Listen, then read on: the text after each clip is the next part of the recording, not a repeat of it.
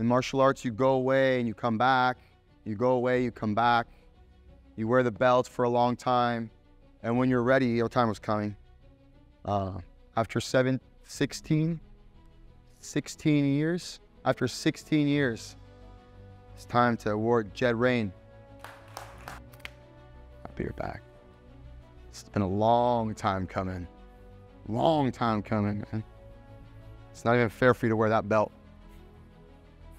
Now, fill this thing in. Congratulations, bro. Let's see a picture.